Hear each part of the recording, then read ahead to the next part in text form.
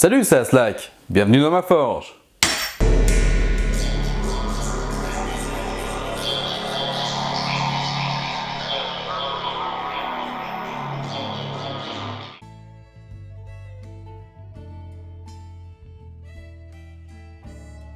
Bon, je ne vais pas vous détailler la soixantaine de pièces qu'il faut pour fabriquer une carabine Winchester, ça n'aurait pas grand intérêt. Mais cette planche vous permet d'avoir une idée de la complexité de fabrication d'une telle arme, et de voir ce qui me passionne dans les armes à feu, mis à part leur histoire. C'est un véritable mécanisme d'horlogerie. Toutes les pièces doivent être ajustées au dixième de millimètre près. Oui, je sais, en horlogerie on a une marge d'erreur d'un centième de millimètre et non un dixième, mais quand même ce qu'il faut surtout savoir sur ces carabines à lever sous garde, c'est qu'elles possèdent un magasin tubulaire. C'est-à-dire que le magasin est en forme de tube et se situe sous le canon. Comme il s'agit de cartouches à percussion centrale, il faut faire très attention à ne jamais charger l'arme avec des munitions possédant une ogive pointue, car la pointe de l'ogive serait alors en contact avec l'amorce de la cartouche de devant, vu qu'elles sont placées l'une derrière l'autre dans ce type de chargeur et non l'une au-dessus de l'autre comme dans un chargeur classique. Ce qui risquerait au moindre choc de produire une réaction en chaîne et de faire partir toutes les cartouches, ce qui détruirait l'arme et probablement le tireur et les gens autour. Le chargement du magasin se fait par le côté de la boîte de culasse et la capacité du magasin dépend du calibre de l'arme. L'armement quant à lui s'effectue donc grâce au levier sous garde.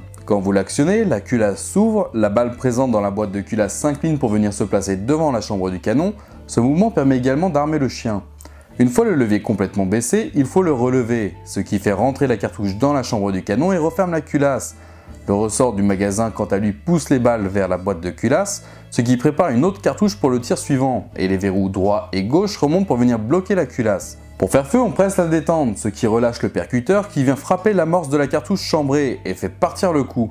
Une fois le tir parti, on effectue la même action. Quand on baisse le levier, la balle suivante se prépare à être chambrée et la douille de la balle que l'on vient de tirer est éjectée, et ainsi de suite. Je me suis rendu compte avec le temps que pas mal de monde ne savait pas comment viser avec une arme à feu sans lunettes.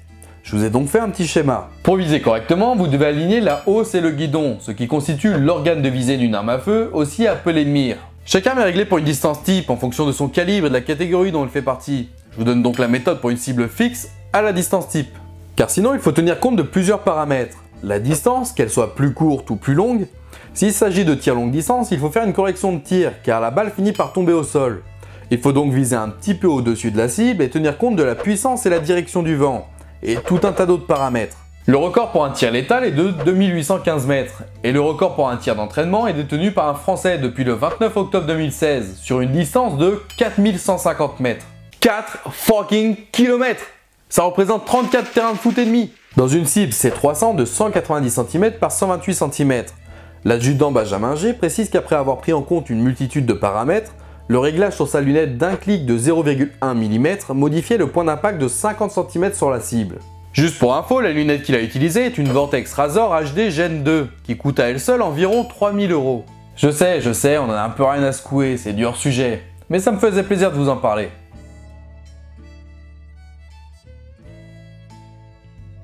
Il n'y a pas vraiment de Winchester célèbres, mais plutôt des célébrités, si on peut dire ainsi, qui les ont utilisés. Nous avons vu tout à l'heure Buffalo Bill et Theodore Roosevelt, mais il y en a plein d'autres. J'en ai donc sélectionné quelques-unes. Je vous préviens tout de suite, nous allons parler de criminels et de morts. Pour commencer, nous allons parler de William Henry McCarthy, plus connu sous le nom de Billy the Kid, que nous pouvons voir sur cette photo avec une carabine Winchester modèle 1873. Le Kid est réputé pour avoir tué 21 personnes, soit une pour chaque année de sa vie, mais seulement 9 meurtres ont été avérés, 4 seuls et 5 en étant au sein d'une bande.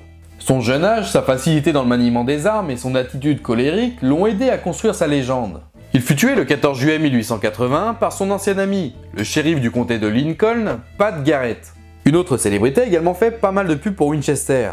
Il s'agit de Martha Jane Canary, plus connue sous le nom de Calamity Jane. Après avoir connu une petite notoriété pendant la conquête de l'Ouest, et notamment en tant qu'éclaireuse lors des guerres indiennes, elle devient le personnage principal d'un spectacle fondé sur sa propre légende, mise en scène par Buffalo Bill dont j'ai parlé tout à l'heure, le Wild West Show. Ce spectacle va la rendre tellement célèbre qu'il est difficile aujourd'hui de différencier la réalité de la fiction. Elle mourra en 1903 à l'âge de 51 ans dans le Dakota du Sud. Pauvre, aveugle et alcoolique, mais toujours aussi célèbre. Les frères Dalton font également partie des bandits ayant utilisé des carabines Winchester 1873 mais leur histoire n'est pas vraiment celle qu'on connaît. Effectivement, il s'agissait bien de quatre frères, non pas Joe, Jack, William. Si, il s'appelait bien William, mais on voit ça dans deux secondes. Et Avril, comme nous l'a appris Maurice, l'auteur de la BD Lucky Luke. Mais Robert alias Bob, Grayton alias Great, William effectivement, mais il était surnommé Bill, et Emmett Dalton. Il s'agissait de bandits de grand chemin entre les années 1890 et 1892, spécialisés dans le braquage de trains et de banques, mais on leur a mis sur le dos plusieurs crimes qu'ils n'avaient pas commis. Trois des frères, Bob, Great et Emmett, faisaient bande avec deux autres compères, mais leur règne prit fin le 5 octobre 1892 lors de l'attaque de deux banques à Coffeeville. Les braquages se sont mal déroulés et une fusillade a éclaté. Bob, Great et leurs deux compères seront alors abattus. Quant à Emmett, il sera grièvement blessé de 23 balles dans le corps, puis il sera jugé et emprisonné. Il sortira de prison en 1907, puis il militera par la suite contre les conditions de vie des prisonniers. Il mourra à son tour le 13 juillet 1937 à Hollywood à l'âge de 66 ans. Billy Dalton, quant à lui, avait fait bande à part quelques temps avant cette fusillade. Mais les Marshall, pensant qu'il était lié au braquage, le traquèrent. Il sera finalement également abattu le 8 juin 1894 alors qu'il était désarmé en train de jouer avec son fils. Les Winchester sont ainsi devenus l'emblème du Far West et des westerns. Du coup, que ce soit au cinéma, dans de très nombreux films et séries, dans les BD comme Lucky Luke et bien d'autres, ou encore dans les jeux comme par exemple Red Dead Redemption, les Winchester sont omniprésentes et je ne pense pas que ça va s'arrêter de sitôt. Cet épisode est maintenant terminé. Comme d'hab, j'ai synthétisé le sujet, mais j'espère que ça vous aura plu. N'hésitez pas à vous abonner et à partager un max cette vidéo. Vous pouvez également me rejoindre sur Facebook et Twitter, puis soutenir la chaîne sur Tipeee. Voici donc la première annonce. Le nombre d'abonnés et donc de questions ayant explosé, je vous en remercie d'ailleurs, je vais préparer une FAQ pour faire original. Vous pouvez donc me poser vos questions dans les commentaires sous cette vidéo ou en réponse au post spécial que je vais faire sur ma page Facebook. Et la deuxième annonce, c'est que le week-end du 22 et 23 avril 2017, vous pourrez me retrouver lors de la troisième édition de la Néocast. Prenez vite vos places, j'ai hâte de vous voir. Et à bientôt pour un nouvel épisode. Salut